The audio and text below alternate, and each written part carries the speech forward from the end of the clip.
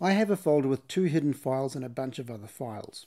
The following are the methods I use to find and unhide the files. I am using OS X version 10.11.6, but these commands should also work for Mac OS Sierra. First I open the folder where the hidden files are stored. Then I open Terminal and call up that same directory. The best way to do this is to make sure you are at the root directory by typing cd space forward slash and hit enter. Now type cd space. Now go to the folder in Finder where the files are hidden. Go up one folder level and drag the folder that we want to the terminal. Hit the enter key.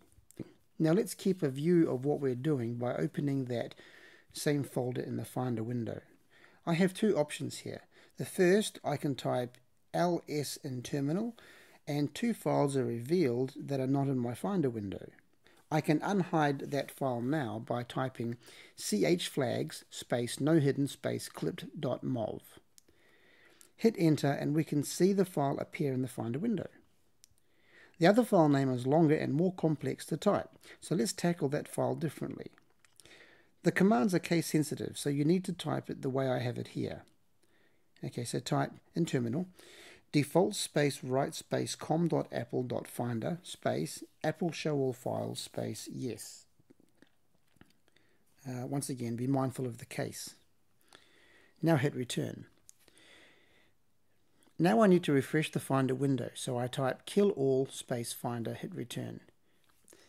Now I can see the files that are hidden in the Finder window they are a little bit grayed out so they're easy to identify.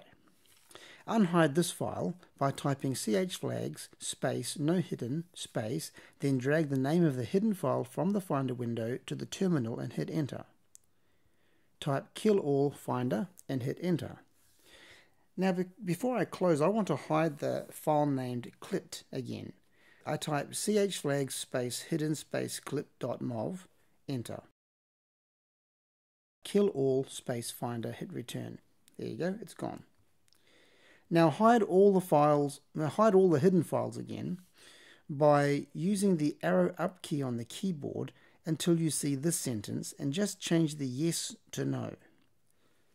Hit enter. Type killall finder and hit enter again. Okay, we're done.